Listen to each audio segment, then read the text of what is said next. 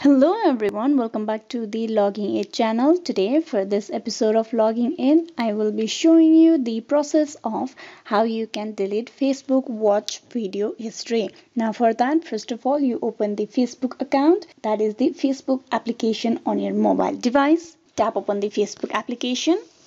Once you have been logged in into your Facebook account, here you need to tap on the three horizontal lines on the top right and from there you need to go to the setting and privacy section. Then there you tap on settings. Here inside setting and privacy you scroll down. And there inside your information section you need to tap on activity log.